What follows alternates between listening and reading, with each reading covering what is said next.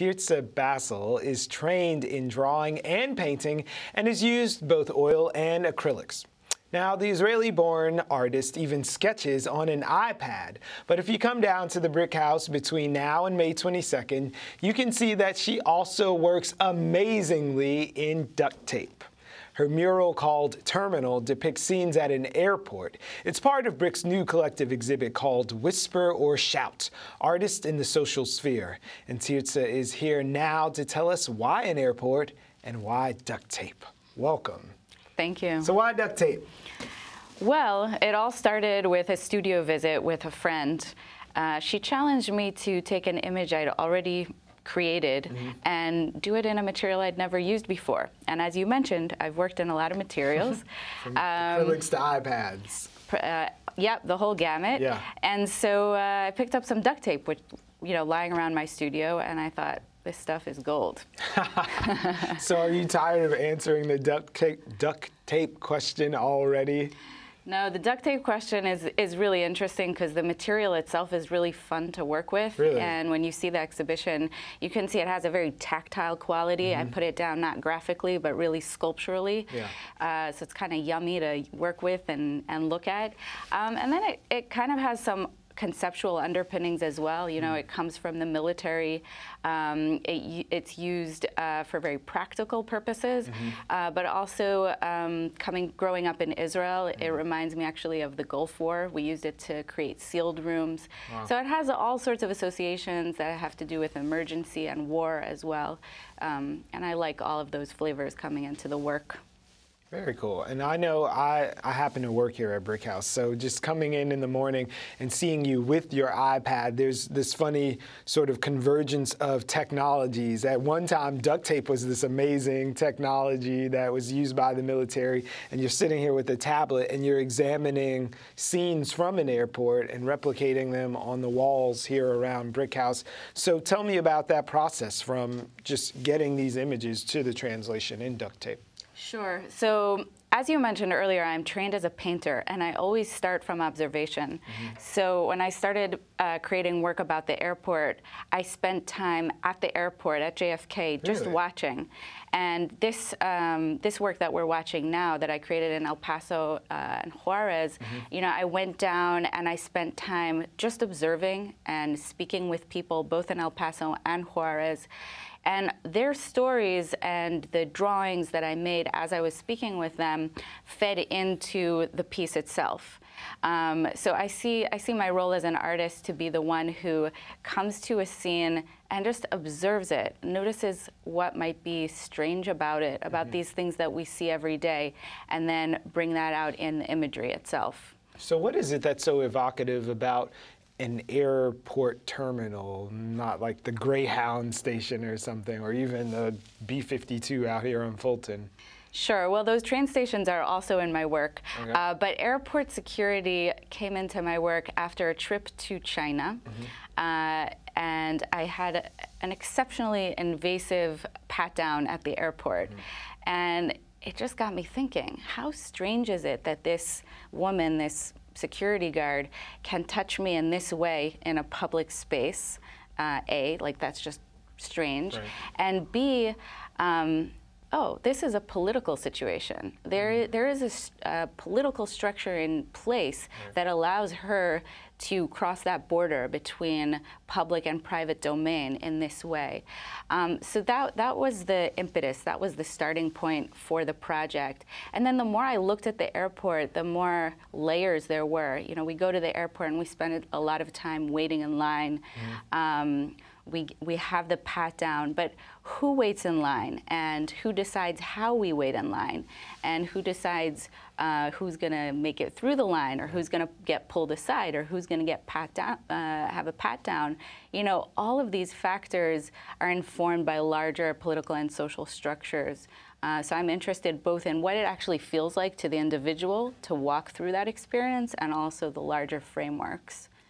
So speaking of framework, we have our artistic directors here and the gallery directors, the galleries, the curators, and they've laid out this shouts and whispers sort of thing, or whispers and shouts. Where do you think your work and these observations fall along that scale? Sure. I love the name of this show, Whisper or Shout.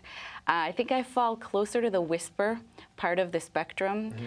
Uh, as an artist, I see it as my role to look at what we experience every day, but probably don't notice anymore. Like, who thinks about waiting in line at the supermarket or getting on and off a train through the turnstile? Like, these are just things that we experience every day. Mm-hmm. But if we take a moment and we step back, we can observe a lot of things or a lot of larger structures that inform and can be informed by those actions. So as an artist, I see it as my role to create an image that will make us look again at something that we see that we see or don't see every day. Yeah. Mm-hmm. So how'd you get involved here? How'd you come to bring your duct tape rolls to the BRIC House? Sure. So um, the curators you mentioned, Elizabeth Ferrer and Jenny Gerow, contacted right. me. Uh, they've been familiar with my work and uh, invited me to create this show, and I was very happy that it ended up being in conjunction with Whisper or Shout. The themes tie really mm. nicely. So, what else are you working on now outside of the realm of duct tape, or are you going to continue down this path? Are you feeling good in that medium? Sure. So, I work in a lot of different mediums, and they feed each other. The duct tape I love because it makes me work very quickly, very mm-hmm. directly, and I'm able to work in a space. So when you see this show, you'll see that the images are on, you know, three or four walls, and you kind of walk through them and have this immersive experience. Uh, but then some of the imagery that I developed for this show is actually I'm working on it now in my studio on large-scale oil paint, oil, oil really? painting. So I like to go back and forth.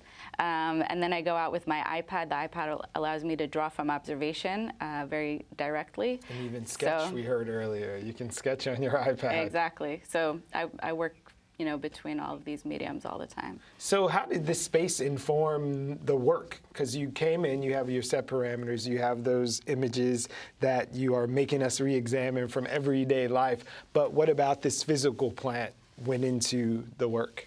Well, first of all, first off, there's some very interesting shapes to the walls here. Uh, I don't know if you noticed because you're here every day, but I noticed the first day I noticed, but you know, it becomes um, wallpaper. Just some weird, ang- weird angles to work with. So you know, that angle suddenly became a really good place to put an escalator going up, mm. or um, a corner uh, was a really interesting place to put the zip lines and create this kind of uh, illusion of perspective. Mm-hmm. Um, so I very much enjoyed working with the, the physical aspect of the space. Yeah. And then, like I said, conceptually, um, to address this uh, political issue in relation to whisper and shout.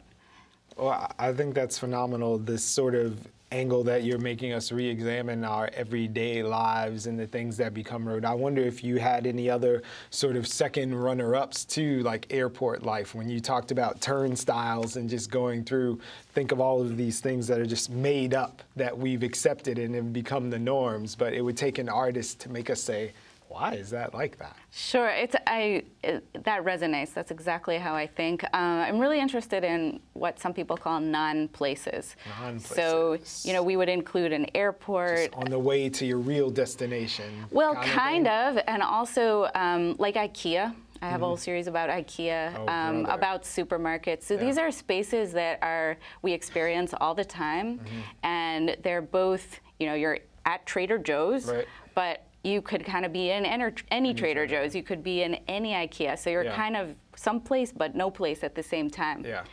And I'm interested in how that affects, you know, our life to be in these places that aren't real places. But that's so funny that you go to these places that are, in your words, non places to feed your needs and your desires for the places that you inhabit and create yourself. So you're going to like the repository of the non place to really express yourself in your own space that you create. Sure. Um, that's a, a good way of putting it. I mean, I think there, at its core, there's this desire we have this desire to find meaning. Mm-hmm. And when you're at IKEA, you know, again, there's this strange situation where you're watching people trying out their bed. I know. In public. Sitting on couches, laying in beds. So they're kind of trying out their family life, but they're in a public space. Yeah. And they're, you know. And they create it though, like it is your catalog life, like that scene that you might remember in Fight Club, where he's going through and like everything in the apartment has the like IKEA weirdo names and descriptions. Right. So I, I'm interested in this tension. You know, Yeah. how we go to find meaning in these places, but at the same time, I don't. Can we find them in these places? Well, thank you for these deep thoughts today before one o'clock. We appreciate you stopping by. I should let folks know that tonight is the opening for the show. Seven to nine o'clock. 7 to 9 p.m. at BRIC House tonight. And if you can't make it for some reason, you can get down before the 22nd of May. Am I keeping it accurate? All right, so from this evening until May 22nd, come down and check it out. Thank you so much for being here. Thank you. And shifting our perspective. We appreciate it.